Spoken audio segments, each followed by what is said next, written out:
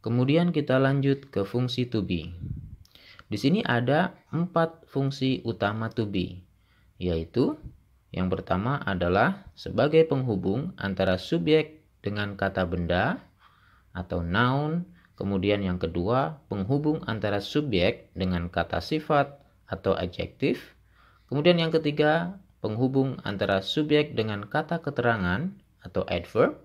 Kemudian yang keempat adalah penghubung antara subjek dengan kata kerja ing atau verb ing. Secara sederhana dapat dikatakan fungsi utama to be adalah sebagai penghubung antara subjek dan predikat dalam suatu kalimat. Mari kita bahas satu persatu fungsi to be. Yang pertama, fungsi to be sebagai penghubung antara subjek dengan kata benda atau noun. Perhatikan contoh-contoh kalimat di bawah ini. I'm a pilot. Saya adalah seorang pilot. She is my friend. Dia adalah temanku. It is a car. Ini adalah sebuah mobil. You are the winner. Kamu adalah pemenangnya. Perhatikan kalimat tersebut. Kata pilot, my friend, temanku, a car, mobil, The winner, pemenang, itu adalah contoh-contoh kata benda yang dalam hal ini termasuk kategori benda hidup. Sehingga fungsi to be pada kalimat-kalimat tersebut sebagai penghubung antara subjek dan kata benda. Apa kesimpulannya? Dari contoh-contoh di atas dapat kita simpulkan Pola kalimat untuk fungsi yang pertama adalah subjek to be ditambah kata benda. Sekarang fungsi to be yang kedua yaitu sebagai penghubung antara subjek dengan kata sifat atau adjektif. Perhatikan contoh-contoh kalimat berikut ini. I'm strong.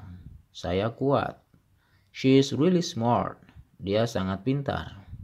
It is big. Benda ini besar dan we are happy. Kami senang. Kata strong yaitu kuat, really smart, sangat pintar, big besar dan happy senang ini merupakan contoh-contoh kata sifat. Sehingga to be pada kalimat-kalimat di atas merupakan penghubung antara subjek dan kata sifat. Pola kalimatnya subjek, to be, ditambah kata sifat. Fungsi to be yang ketiga adalah sebagai penghubung antara subjek dengan kata keterangan atau adverb. Perhatikan contoh-contoh kalimat ini. Kata-kata at home, at school, in the meeting room, dan Sunday itu adalah contoh-contoh kata keterangan. At home, at school, in the meeting room adalah contoh keterangan tempat dan Sunday adalah contoh keterangan waktu. Maka to be pada kalimat di atas menghubungkan antara subjek dan kata keterangan. Sehingga pola kalimatnya adalah subjek ditambah to be ditambah kata keterangan. Fungsi to be yang keempat adalah penghubung antara subjek dengan kata kerja ing atau verb ing. Perhatikan contoh kalimat ini. Perhatikan kata cooking, watching, learning, dan running itu adalah contoh-contoh kata kerja yang mendapatkan imbuhan ing atau disebut sebagai verb ing. Maka fungsi to be dalam contoh-contoh kalimat tersebut sebagai penghubung antara subjek dan kata kerja ing atau verb ing. Sehingga kita dapati pola kalimatnya adalah subjek to be ditambah kata kerja ing. Terakhir, mari kita perhatikan contoh penggunaan to be di dalam paragraf berikut ini. Hello, I'm Maria and I'm from Madrid in Spain. I'm 11 years old and I love music. I've got two sisters and one brother. My brother is Alberto. He's tall and thin, and he loves computer games. My two sisters are younger than me and my brother.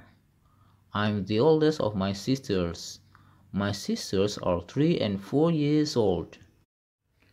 They like playing with dolls. My mom loves cooking and my dad loves sport and nature. I'm very happy. Nah, demikian penjelasan mengenai to be bentuk present, yaitu am, is, dan are. Penjelasan mengenai to be was, were, dan been akan dijelaskan di video berikutnya insyaAllah. Thank you so much for watching this video. Assalamualaikum warahmatullahi wabarakatuh.